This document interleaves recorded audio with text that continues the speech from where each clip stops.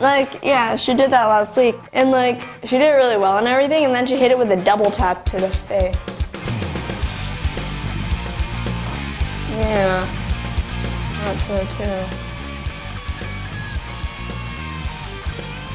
Oh my god.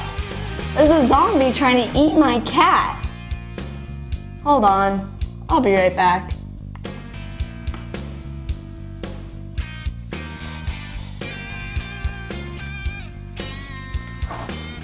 Hey, weapons check. The long sword, my choice of weapon.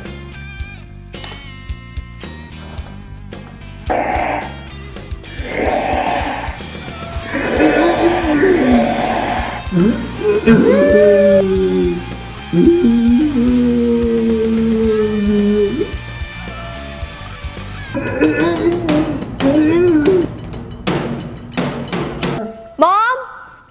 Can you get the broom and dustpan? There's a huge mess out here.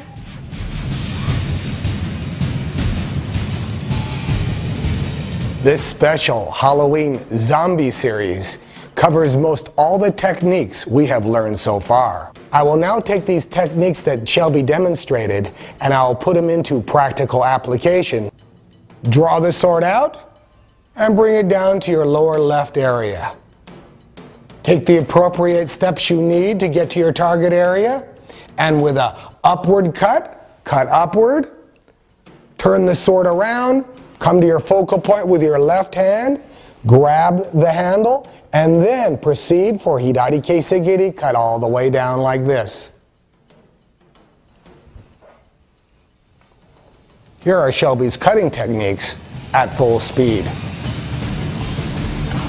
And, yup! Practice this over and over until you become fluent and proficient. Thank you very much for viewing Learn the Sword on TGN. See you next Friday. Until then, be well.